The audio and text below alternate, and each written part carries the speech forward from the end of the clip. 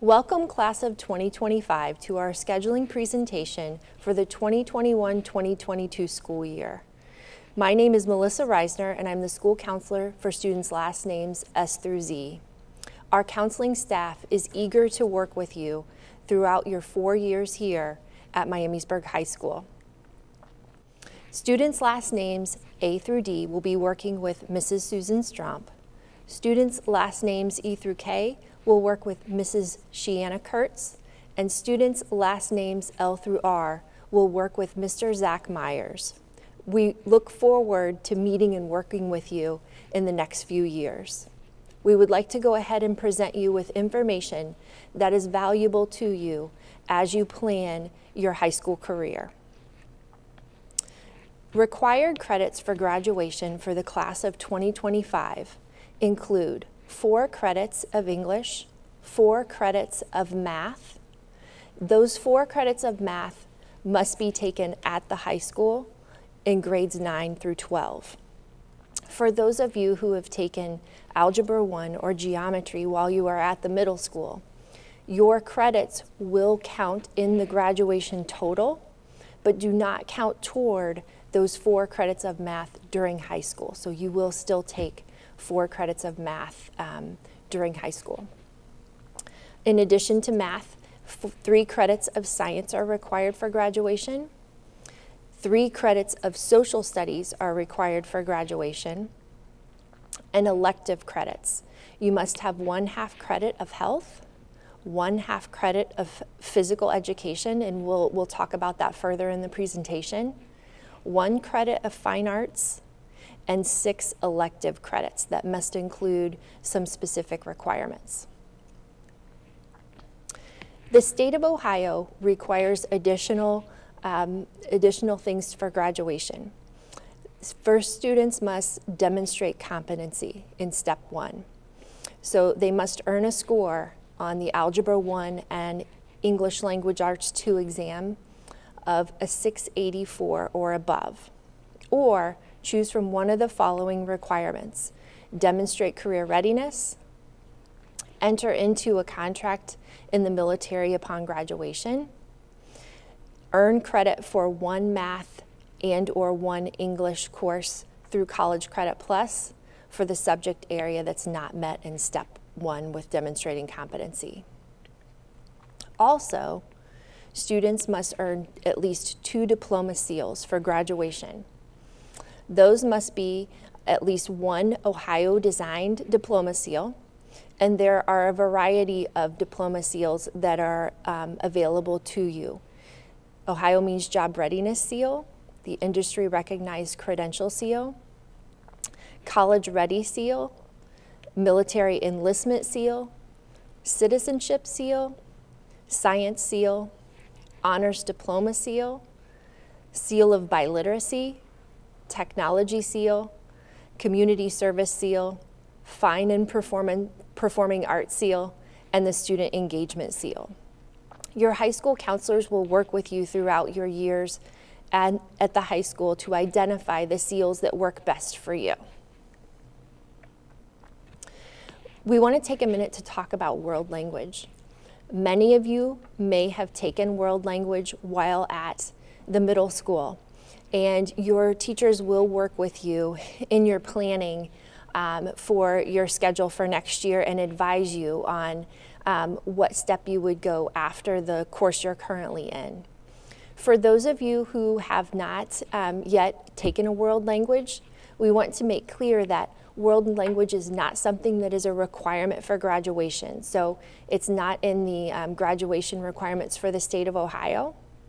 However, Many of our students that are planning on attending a four-year university may need to work at least um, two to three years of world language into their schedule. Um, when you're planning for taking your classes next year, you may want to um, choose a world language and start that next year. But please also remember, if you make the choice to um, start as a sophomore, you could still earn three years of a world language starting your sophomore year. Also available to students is the honors diploma. The criteria are um, listed on the screen.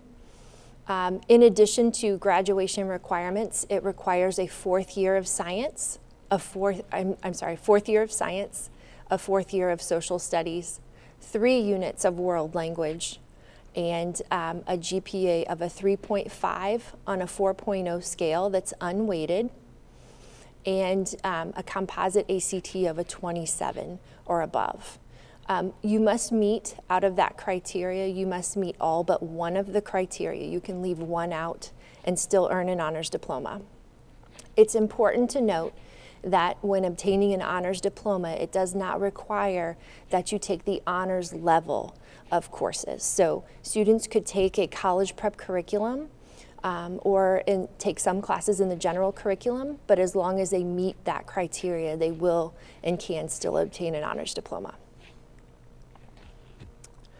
Important information for athletes. Students are, who participate in school athletics should be aware that the nine weeks before your sport begins is what determines your eligibility for your season. So, an example would be our students who are um, fall athletes will need to make sure that their um, fourth nine weeks grades um, meet eligibility requirements for them um, to begin their athletics with us in the fall. If you have more, more questions, be sure to ask um, your coach or um, one of your counselors. We also want to talk about um, athletics in terms of students who are wanting to pursue Division One or Division Two athletics after high school. Decisions that you make beginning next school year can impact your eligibility in athletics if you're pursuing Division or Division One, Two athletics. Students who want to pursue this need to register after their sophomore year with the Eligibility Center. And we can provide more information about that to you when you are here at the high school. One also important thing that's um, to note is that students must take courses that the NCAA approves um, in order to be eligible for NCAA athletics and, and receive the proper grades in those courses. So we have listed the core courses that meet eligibility requirements, and we have a, a sheet and handout that will be available to students if they are in need of that. Um, so um, one important thing to point out is that a lot of times the general level of courses do not meet those requirements for NCAA. And if you have further questions, please ask us. Our program of study is something that students will be given um, when they meet with their um, team teachers. And this is something that gives the information from our um, presentation here, but also will um, give students the opportunity to learn more about the courses they are taking. There are course descriptions in here that talk about every course that we have available at the high school. So it's something very valuable for you students to review and also for your parents to share with them, but you will be given a hard copy of this um, when you meet with your um, team teachers about scheduling. important thing to note is that school fees um, for the high school are based on the course. So some uh, school, some school courses have fees that are more than others you can consult and look in that program of study and it will detail each fee um, for the course. School fees should be paid yearly and are based on the materials and then consumables that are used in each individual course. Student registration. Every student must be scheduled for a full school day. And for students that are um, scheduling for the regular school day, if you have a PE course in your schedule, you will be scheduling for 6.75 credits. Um, if you do not, you will be scheduling for seven full credits each day. Um, an important thing for you to note is that freshman orientation for, for students will be on Wednesday, August 4th um, this year, and more details will be coming from the middle school um, for you and for your parents at that time, but you could go ahead and mark that down on your calendar for August 4th. There are several ways to meet PE requirements at the high school, and we'd like to talk about each of those three ways. Um, the state of Ohio requires a half credit of PE. Our PE courses are the first way, um, I'm sorry, the PE waiver is one way that students can meet this requirement. PE waiver is available for students who compete in a school sanctioned sport, our marching band, our color or our color guard. Um, students must complete two seasons of one of those activities, and it does not have to be the same activity in order to receive both PE waivers um, that allow them to fulfill their PE requirements.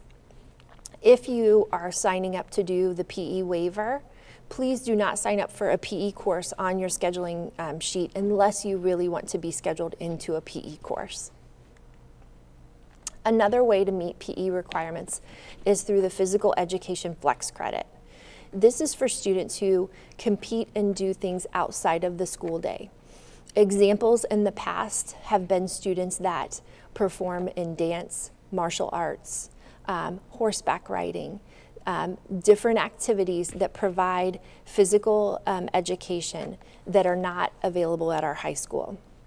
Students that are doing the PE Flex credit must receive 60 hours of the activity during the semester and they have additional um, applications and things that need to be filled out for the PE Flex credit.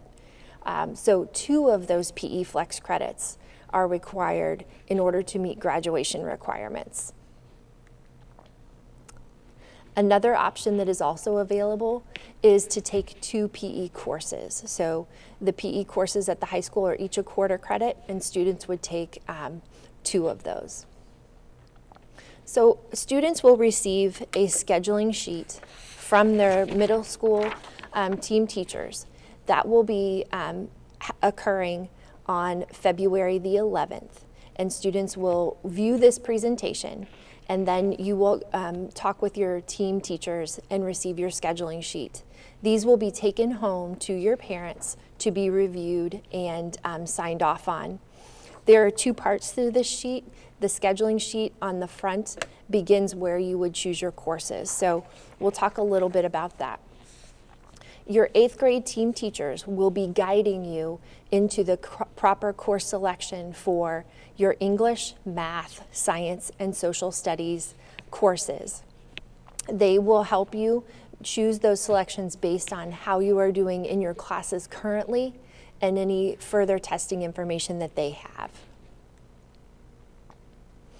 Your world language teachers will also guide you if you are currently in world language if you are not and you're choosing to take world language for the first time, your team teachers will help you based on how you're doing in your English course um, to guide you for world language.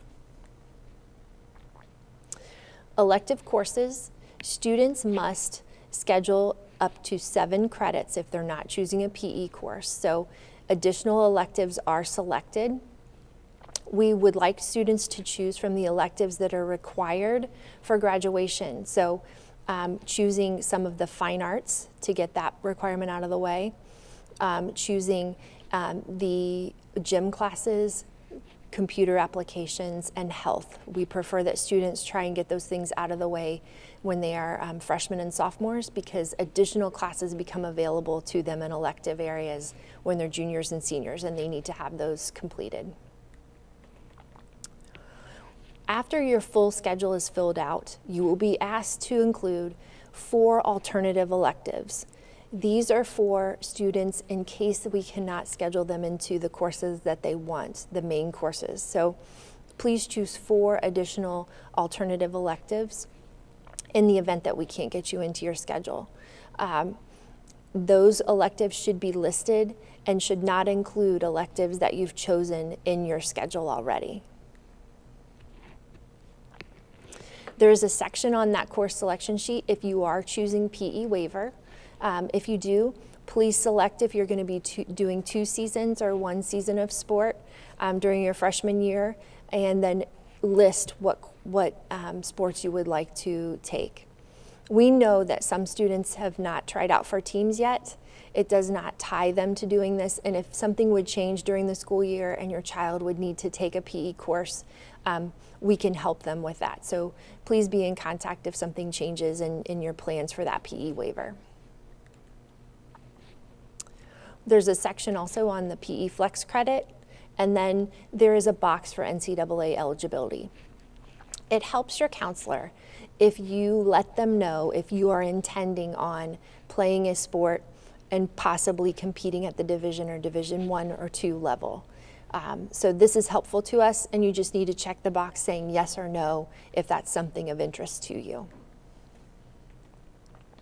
When all of that is completed, you will sign your course selection sheet and your parent will also sign.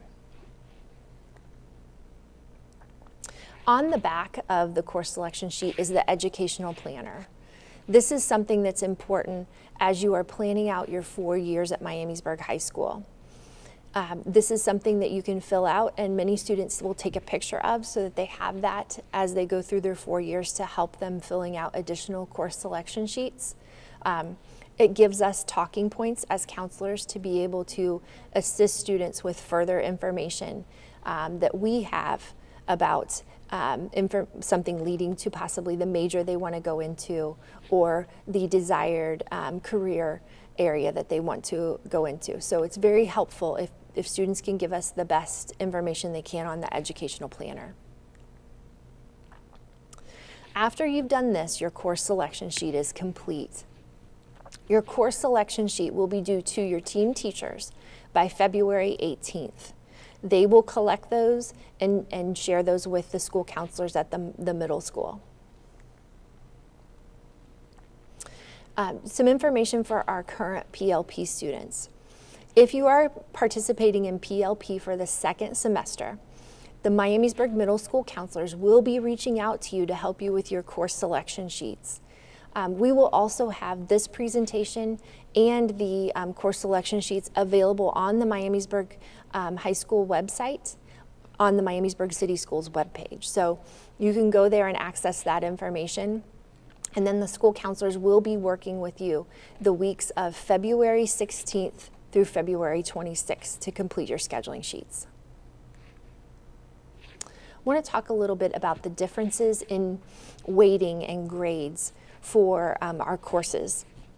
We have general courses that receive a general GPA we have um, honors courses that have a bump in the GPA and, and raise the GPA further.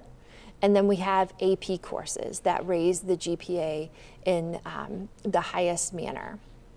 So those courses that you choose will go into and factor into your GPA as you go through um, your four years here at the high school, and there is different weighting for different courses.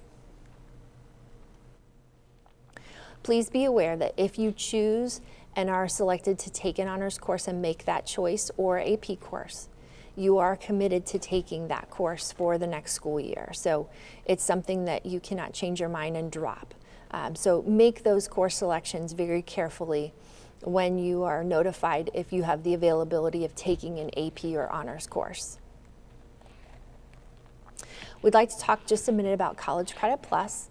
This is something that is available to students grades 7 through 12 who meet the criteria. In January, we had a meeting to talk about College Credit Plus, and that information is on the Miamisburg City Schools website. If you were not able to attend that meeting, please go to the website and you can view the, view the presentation and the materials that were presented that day. College Credit Plus means that students are college ready as a high school student. They must meet additional criteria in order to qualify to take a College Credit Plus course. We have these courses available at Miamisburg High School. Um, those courses are listed on, on your screen. Um, these are great options for students. The vast majority of our students taking College Credit Plus are doing so as juniors and seniors. So we do have some freshmen and some sophomores that take it, but very few because they are still meeting their requirements for graduation um, at that time. Questions about College Credit Plus, you can obtain a form if this is something that you are interested in from your um, middle school counselor, and they can assist you with that and share those with us. Looking ahead in your high school career, options that are available to you. Your junior and senior year, um, we have the Miami Valley CTC that has wonderful programs, and we will take a um, visit to the CTC during your sophomore year so that you can apply if that's something you're interested in. There are a variety of, of different programs that they have, um, and many of those programs are something called Tech Prep. Um, this is something that gives a student a scholarship to continue on to Sinclair Community College after graduation. Um, we also have tech prep programs available at Miamisburg High School in the areas of media arts, information technology, and exercise science. So these are options that are available to students during their junior and senior year. One other um, thing to note is that students have the ability to apply to the National Honor Society in the fall of their junior year. Um, this is an organization that recognizes students for their excellence in the area of scholarship, service, and leadership and character. Um, more information can be found on page 19 of your program of study. Grading periods are nine weeks in length at the high school. Um, grade cards are printed at the end of each semester. So first and third first and third quarter grades are available to view on Progress Book for the quarter. And then um, second quarter and fourth quarter grades, report cards will be printed and sent home to students and families. If you have any questions about Progress Book, you can contact your um, school counselor or counseling office. Um, we want to point out that you, the choices that you make beginning next year build your high school transcript. Um, there are many people who will ask for your transcript. This includes military recruiters, um, colleges, universities, and then employers. So it's very important to build the best transcript that you can as you work through your four years at Miamisburg High School. Please stay connected with us. Um, we are, um, have a class of 2025 um, Google Classroom, and you can use the code that we have on the screen there to subscribe to that. Um, and then also follow us um, on Instagram. Please contact your school counselor if you have any questions and know that your team teachers will be working with you on your course selection sheets. I appreciate your time today and look forward to working with you next school year.